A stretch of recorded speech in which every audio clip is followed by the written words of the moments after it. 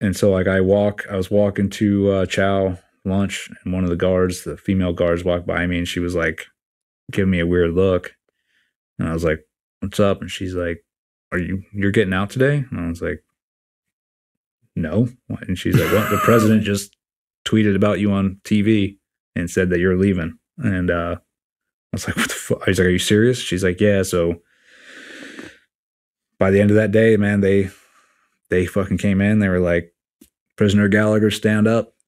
I'm like, "You're out of here." And uh, I, so this is the this is the crazy part. All he tweeted was to get me out. He's like, "Get him out of confinement so he can properly defend himself for trial." Didn't say like he's guilty or not guilty. Um, he just said because of his prior service, he you know He has the right to a fair he has trial. a right to a fair trial.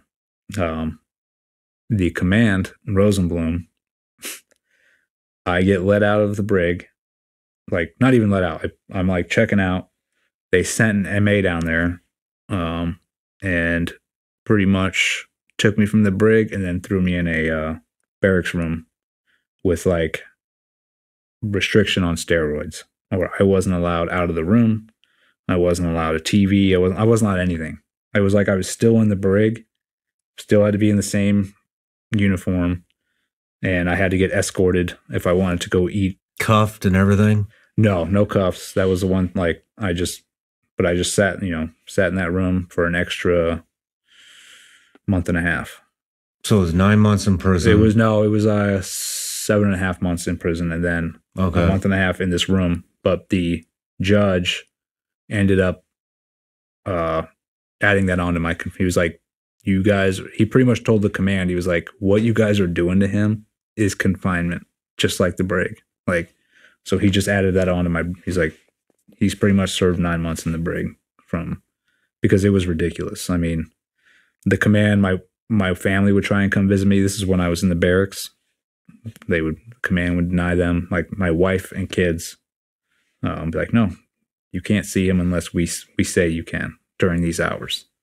So it was pretty much like i was still locked up uh, just now it was almost i don't want to say worse but it was like i was by myself in a room now i wasn't seeing anybody you know um, they had a, a guard on post outside my door at all times um, yeah it was stu- it was just stupid Talk about the phone call.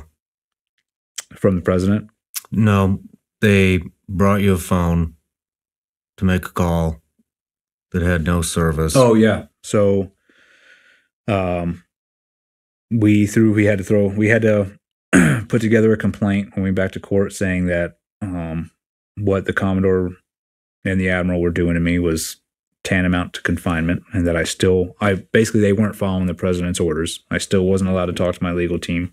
I still I had no no communication with anybody, so therefore how could I properly defend myself? Uh so the judge told the prosecution like he said uh, i'm not ordering you to do this because i can't but i suggest you guys get him a phone so he can contact his lawyers. And so the command shows up about a week later nothing took their time and they're like here here's your phone. It was like some you know 1994 like samsung uh, that had no service. They locked I, I could only call my lawyer and my wife and I think my brother. Um, you know, I wasn't allowed to dial anything else out, but which didn't matter because the phone had no service. So they gave that she the command jag gave that to me, and then they gave me a laptop with no internet, no nothing, and uh, they're like, "You can't have this laptop in your room. We're gonna." Lo-. They locked it in another room in the barracks. So if I wanted to go use it to go look at any evidence, I had to have a whoever they had from the command watching me, standing over me watching, or like watching me do this, which is a violation in itself. You know, I'm looking at my own trial stuff. Like, yeah. uh, we brought that up to them after they gave me the phone. I brought it up to uh, the command. Actually, the the jag that gave it to me, I was like, "Hey, my phone doesn't have any service," and she just looked at me and she's like, "Too bad," and walked off. I mean, they knew what they were doing. Yeah. Uh, they were just blo- I mean, they were blocking me from being able to defend myself at every turn. And it wasn't until um, the prosecution finally got caught uh, cheating and spying is where I was let out of confinement. Um, that was the judge's remedy. So they, the um, as soon as Tim and Mark and all them got together as a legal team, um, the prosecution sent them an email. This is uh, Czaplak was the prosecutor, um, and on that email, it was just some random email too. It wasn't nothing of like significant importance, but on there was a tracking beacon at the bottom. Um, it's like an embedded virus, and luckily, my Tim, my lawyer, caught it um, because he had a case two cases ago that dealt with the the same thing, and he saw it, and he emailed back and was like, "Tell me this isn't what I think it is," and got no response from the prosecutor. Mm-hmm. He was like, "Dude, they looked into it, found out it was spyware. like they Yeah. sent them spyware." So that became a whole nother like side issue of my trial. So then we had to bring that up like this is violating I don't know how many of my rights. Uh, Was that in a was it so that beacon was that an attempted breach or Yeah. did they breach? no, they didn't. It was, so if he would have clicked on that beacon, it would have been, been a full breach. What what did the beacon look like? It was the symbol for the um the RSL, the the uh, pretty much the the command that the that the prosecution falls under. It's their Okay. symbol. Uh, but there's something like about it that Tim was like, this isn't right. Uh, and yeah, it turned out the prosecutor sent that beacon to my whole legal team, including all you know my civilian lawyers, um, the lawyers that were representing my OIC, uh, the Navy Times, because the Navy Times had just started writing articles that were actually looking good for me because that the Navy Times was uh, his name is Carl Prine, who was writing all the articles. He started doing some digging of his own into what was going on and started finding out the truth. Like this is these dudes are fucking lying, and he started writing articles that you know insinuating or saying like, "Hey, man, this is maybe this isn't what we think it is," and the prosecution didn't like that. Um, so they sent them a tracking beacon as well. So that's to the media. Now we're violating the media's rights. Um, so it became a real big deal. Um, and we thought that, I mean, it was a good chance the case was going to be thrown out over that uh, because in a civilian court, it would have been thrown out hands down. Um, but their remedy was they, and this was a complete surprise. Um, this was pretty much an awesome day. Um, we went in just to talk about the spying caper and all that stuff and uh at the end of the that day the judge like so nonchalantly was just like all right um you know due to the fact that i think you violated some of his rights i'm just i'm letting eddie gallagher go free or out of confinement. And it was like i couldn't i was like what the fuck? And my wife was like that she like jumped up screaming like you know and that was it. I got to go be with my family until trial um which trial was like i think at that point a month off. Um but that was uh that, that was a big day like just to be able to go see my wife and kids um i went and flew home you know for like two days and then came back and all we did was prep for trial from that point on So you go to trial and you need to explain to all of America how an entire fucking SEAL team, or actually an entire SEAL community is turned against you and you need to prove your innocence. Mhm. I mean, were you ready to do that? At at that point, were you confident that it, Yeah, uh, I mean, I had confidence in my legal team. Uh, you know, I knew I knew they had they had done their due diligence. I mean, they worked their asses off all the way up till trial preparing for it. Um, and I like I knew the I had the truth on my side.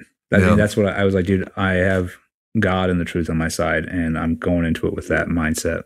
And uh, because at, at that point so much corrupt shit had happened uh, i was like I would definitely wasn't putting any faith in the justice system or like that they were going to do right by me. So I just had to have faith, you know, in God that it was going to work out. And then I trusted my legal team. I had full trust in them. Um, and so we went into it with that attitude. I mean, it was like we were every day I went to trial was like going into like an almost like an op, you know. How many days was the trial? Oh, it was like two and a half weeks. Two and a half weeks every day. Yeah.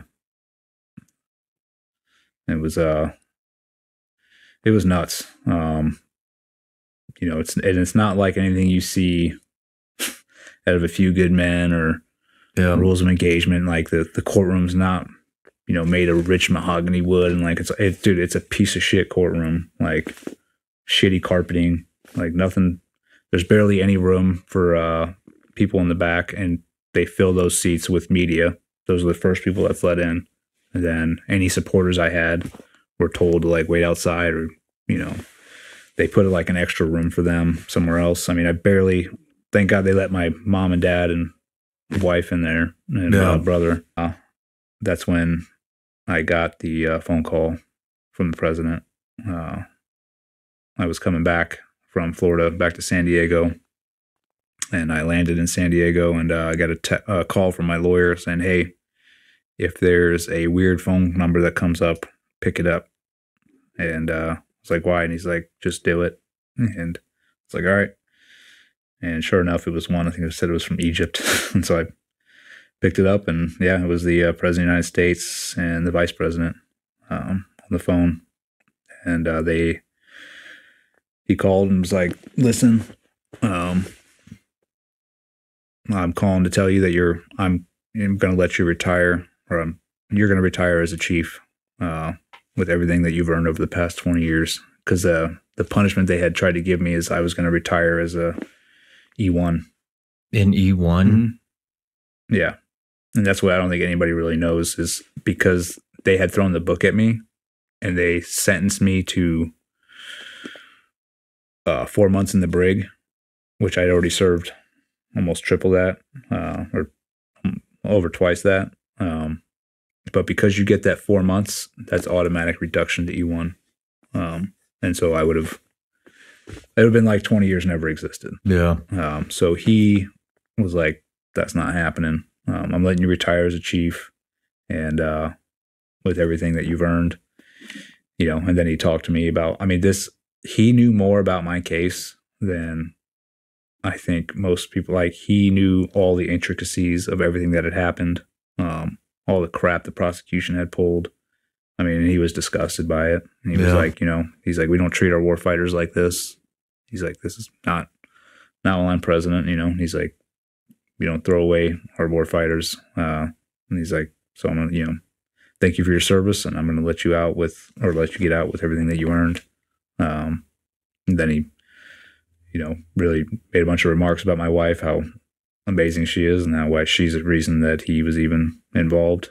Um, that he was, he was like, she's a remarkable person to watch uh, fight. You know, he's I forget what he said. He said, uh, you know, she stands. She's a good salesman. She stands by her product, and she's like, that product is you. You know, and so talked to him and both the vice president. Just I, I was, you know, in shock. You know, what are you going to say? Yeah. both on the phone. I just sat there and listened to them and thanked them over and over. And um, yeah, so that, They were going to pull your seal trident well, too. that's so after I get off the phone with them, I go into work the next day and I go right to TRADET where I'm banned from. I drive right on. I'm like, dude, fuck this. I walk in and I'm like, hey, I want my paper. Like all I, all I wanted was my paperwork to put my retirement in, which they were not giving me. I go up to the uh, third deck, walk into the admin, and uh, it would you would have thought I walked in with a shotgun. I mean, it was all admin people in there, and they all like stop what they're doing. And like, oh my gosh. And I literally was like, hey, I just need this, this, and this, and I'll be out of here, you know. And they were like, oh, you know, they're all helpful. They're like, definitely. And the mass chief of TRADET comes walking out, sees me, and uh it was so awkward. He was like, Oh, what's up? And I was like, Hey, how's it going? He's like, Oh. And then he walks back in his office and shuts the door. And I'm like, Okay. Comes out about 30 seconds later, completely different demeanor, like bowed up, gets in my face and is like, Who gave you authority to even come in here? Like, you're not, like, just being a complete douchebag. And he's like, You're not allowed in here. I don't know what you think you, you know, what makes you think you can walk up in here. And I just turned and looked at him and was like, you know, he, cause he said, Who gave you the authority to come here? And I looked at him and was like, The President of the United States when he called me yesterday. I was like, Get the fuck out of my face. He looked, his face was like, he like walked back into his office and I like, I had it at that point. I was like, dude, Yeah. fuck you, uh, fuck all of you guys. Um, I was like, in my paperwork. I mean, the, the admin people were cool. I had no problem with them, but just him and then the CEO of TRADET comes walking out. This is literally this happened. I turn, he comes walking out of his office, looks at me, and then goes back in his office and shuts the door. like these are grown ass Navy SEALs that we're talking about here. And Yeah. I'm like, dude, are we like really? You know, but either way, I, I left there. I didn't go back. I just got everything I needed. Um, and uh, I go back to supply to put in for retirement, and I get notified by Group One. They call me. They're like, "Oh, uh, yeah, you're not. You can't put that in because now we're going to take you to Trident Review Board, and we're pulling your bird." Um, Man, they just wouldn't fucking Oh, let dude, it you go. couldn't make you couldn't make it up. I literally sat down with the Group One Master Chief and had to have like I tried to have like this heart to heart talk with him. I'm like, dude, I get it. You guys are coming after me. Like I'm public enemy number one. I was like, but do you know what this looks like? Like the president just said I could retire and just let me go. And now you're coming after me again. I was like, this looks like you're giving the middle finger to the president of the United States. And I was like, you do understand that? And he was like, no, no, no. That's that's not what we're doing. I was like, okay. I'm like, that's what it's gonna look like. But I I welcomed, they were like, you're gonna go to the Trident Review Board. And I welcomed it. I was like, fine. I was like, I'll go. I was like, because that is the first and only time you guys have ever offered to hear my side of the story. And if it has to be in front of a Trident Review Board and I I'm able to talk to a bunch of senior enlisted and give my side, I welcome it. I was like, even though I already know there's a predetermined outcome that you guys are going to pull my bird, but if that's what it takes, you know. And uh, I went and reviewed. So when you have a Trident Review Board, you can go and review the evidence uh, beforehand to see what they're gonna, you know, bring up. And I was going to trial all over again. I mean, it literally was like I had never been to trial. They were just like all the charges again, um, which I was like, okay. But uh, literally the next day, the president steps in again and tweets. I wake up to a tweet that said, "You will not be taking his trident. Uh, get back to work." Like, dude. I mean, and so I walk into work the next day, and I'm like, you know, what are you gonna do now? You know, what's and uh they told me they were like, Oh no, we're still pulling your trident. And I was like, Okay. You know. I I don't know where this is going, but it's like it's not gonna end. I mean, you're going up against the president, Yeah. which that's on you.